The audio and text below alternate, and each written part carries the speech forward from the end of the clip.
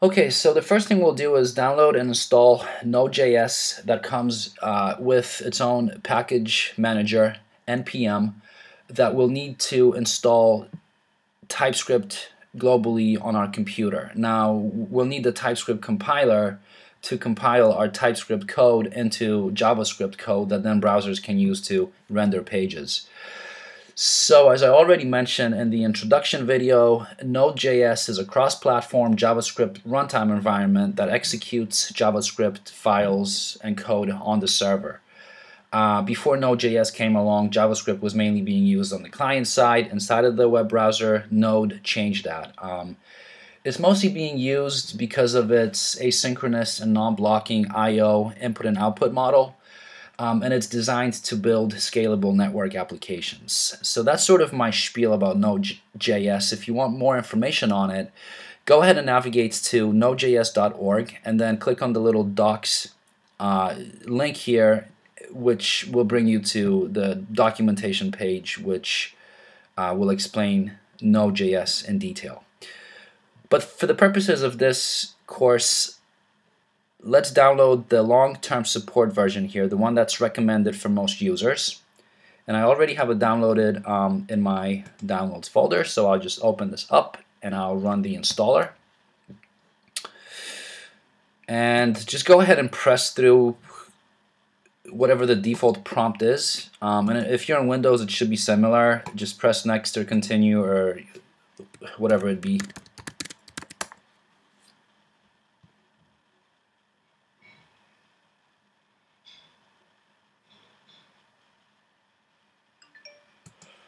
Okay, and now let's see if everything installed correctly. So what I like to do here um, on a Mac, I use this Spotlight search feature, um, which you can bring up by pressing Command and Spacebar on your keyboard, or simply by clicking the little magnifying glass here.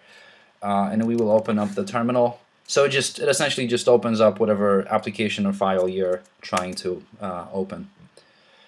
Uh, and if you're on Windows, the terminal is essentially the same thing as a command prompt. So for you, it would be start run cmd, I think. But essentially just open up the command prompt application. All right, so the first thing we'll, we'll do inside of our terminal is see where we are. So to do that, type in pwd, which stands for present working directory. And as you can see here, um, it, uh, it shows us the path name of the folder we're, we're in. So in this case, it's we're in the main uh, Sly users folder here. Now I will navigate to my sylada folder by typing cd, which stands for change directory, and then whatever the folder name is, and in, this case it's sylada. And just to see what's in here, I don't think I have anything in here, but just to see if there's anything in here, press uh, type in ls, stands for list, so it lists out the, the, the content of whatever folder you're in. It doesn't seem like we have anything in here. I will go ahead and make a dummy sandbox directory that later on I can just simply delete. So to do that, type in mkdir, which stands for make directory, and then whatever the name of the, the folder is. So I'll just call this sandbox. Okay, and then I'll, I'll navigate to it. Okay, and by the way, notice how every, every time we navigate to a new folder, like the the name of the folder where we're in, it, it changes. So it changed from the little squiggly line, I think it's an epsilon, into sylada, and then it changed from sylada uh, to Sandbox, right? So now now we're in the Sandbox uh, folder. Okay, so now let's see if node and npm installed correctly. And to do that, type in node space dash V. V stands for version. And it gives us the, the node version, which is 8.11.4, which is the same as what we had downloaded from the website. And um, npm should have uh, installed along with node automatically. So let's check what the version of npm is. So it's npm space dash v for, for version, and it's 560.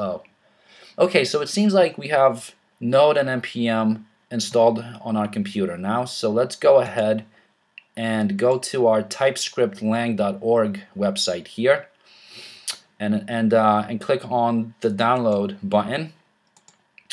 And since we're using Node.js um, all we have to do to install it is just run this little line of, of text here. Um, and all this is really is just it's using the npm tool to install globally TypeScript or you know whatever application this is so um, the little dash G flag here just means that it'll install TypeScript globally on your operating system so not just in the folder you're in but it'll be available in whatever folder you're you're you're working out of.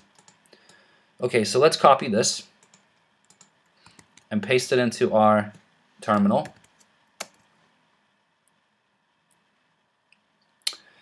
Okay, and it seems like we have a problem here. There's a warn and an error message says check permissions.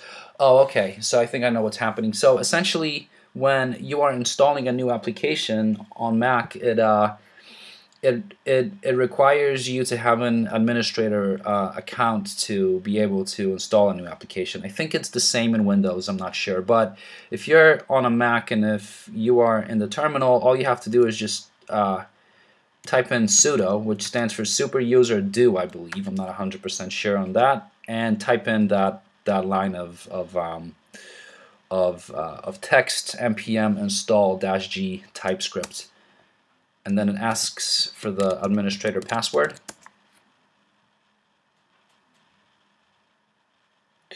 Okay, and, now it seems like it installed or it downloaded and installed correctly, but just to make sure, let's type in TSC, stands for TypeScript Compiler, which is how we're actually invoking this application, and then just, again, the, the dash V flag for the for version.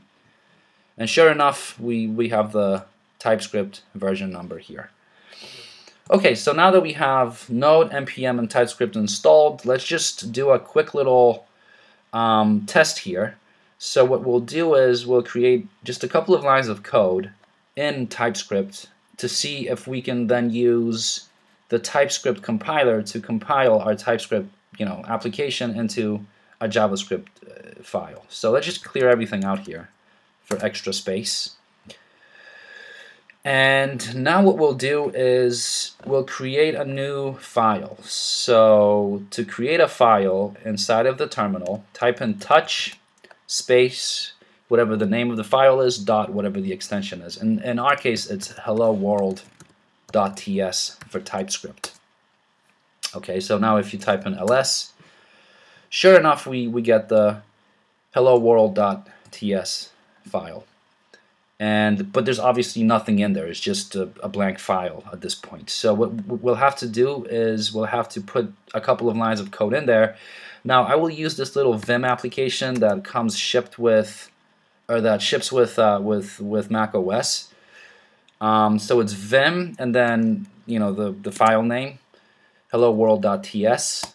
Um, now if you are on a Windows, I'm not sure Vim comes uh, like it is available on Windows. So just open this up in Notepad, but just make sure to to to, to save it in the same folder that that we're working out of.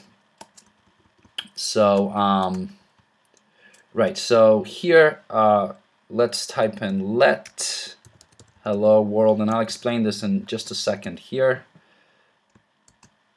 uh, we will. Uh, we will initiate this as a string uh, and uh,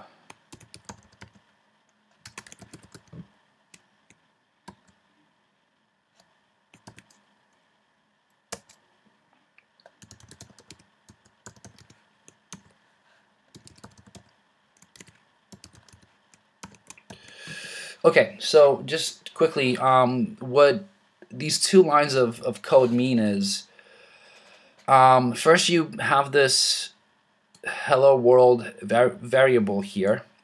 And the way that we declare this variable is with the let keyword. Um, so for those of you that are familiar with with JavaScript, it's essentially the, the new way of um, of writing var. And then, so this is sort of where TypeScript comes into play is declaring an actual type on a variable. So in this instance, we're saying that hello world is a string type of a variable, and then we're initiating it with the hello world string. Okay, and then this line just it simply uh, just says that we we will print out whatever the contents of hello world is, right? So in this case, it's just hello world, okay? Um, now, um, if you don't understand all of this, that's fine. I will get into it more in, in subsequent videos. So if you're in Vim, to escape um, from like the insert uh, mode here, what you have to do is press escape on your keyboard and then type in colon W for write and then Q for quit. So write is essentially like you're you're you're you're saving this file. So you're you're writing the contents of this file into it. So it's um, and then Q is for quit. So you're quitting out of Vim. All right, and I think we should be all set. But let's just let's just go back and and make sure that that these lines of code are in there. Okay, and sure enough, we we have our two lines of code. So again, it will be escape, colon, and then in this case it's just Q because you know we haven't changed anything, so we're just quitting out of Vim in this instance. Okay, so now that we have our TypeScript uh, file, what we'll do is we'll use our TSC compiler, our, our TypeScript compiler, to compile the type the hello world.ts file into hello world.js file. Okay, so it, it does its thing here, and, it, and now if we're if we list um, the contents of this folder out, sure enough we find that hello world JS is in there. Um, now just very quickly just to see what how it changed, what what the compiler actually compiled uh, our uh, hello world.ts into, let's um, again go into Vim and see what hello world.js actually is. So it actually changed it a bit. Um, notice how it changed the let hello world string into var hello world. So this is sort of the old JavaScript way of of writing um, uh, of uh, of de of declaring and initiating a a variable. Okay, so let's quit quit out of that. So again, from Vim it's escape colon Q. And it seems like we're all set just to make sure that it runs. We can just run it in, in our node environment. And this is where node actually comes in handy just because we don't have to, you know, like uh, put our our JavaScript into an HTML file. We can just directly run our JavaScript files inside of our node environment. So in this case, it would just be node and then hello world.js. And sure enough, it, it prints out the hello world string. So that'll be it for this video. Um, I hope you enjoyed it. In, in, the next video, we will go through setting up our Visual Studio Code.